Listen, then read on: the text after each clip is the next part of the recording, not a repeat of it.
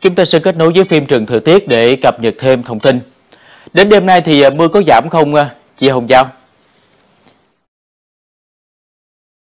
Xin kính chào quý vị khán giả.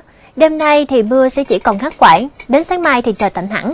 Do có mưa nên là về đêm không khí trong buổi sáng mai rất dễ chịu, cho mọi người có thể xuống phố tập thể dục bắt đầu ngày làm việc mới. Dần về trưa chiều mai thì nhiệt độ bắt đầu tăng lên nhanh, nhất là ở khu vực miền Đông Nam Bộ. Như là tại Biên Hòa, mức nhiệt lên cao nhất có thể lên đến 34 độ C. Còn tại Xuân Lộc, Đồng Phú, Phước Long, Thủ Dầu Một, thành phố Hồ Chí Minh, Tây Ninh phổ biến trong khoảng từ 32 đến 33 độ C.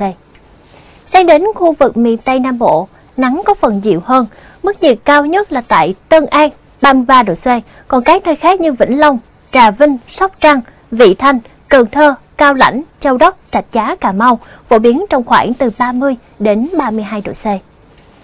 Sau buổi trưa chiều nắng nhiều, về chiều tối, tại khu vực Nam Bộ sẽ xảy ra mưa dông, mưa xảy ra trên diện rộng.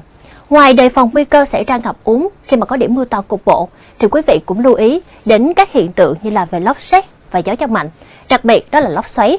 Như là vào chiều tối qua tại Cà Mau và Kiên Giang, lốc xoáy đã khiến cho 67 căn nhà sập và tốc mái, 19 người bị thương.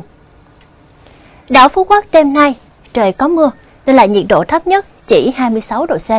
Sang đến ngày mai, trời có nắng gián đoạn nhờ có gió biển thổi, mức nhiệt cao nhất trong ngày không quá 30 độ C. Trưa chiều trời có mưa rào nhiều nơi, đề phòng nguy cơ về lốc xét và gió giật mạnh.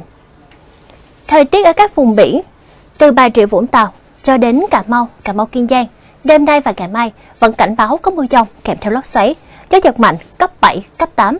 Tàu thuyền hoạt động trên biển cần chú ý đảm bảo an toàn.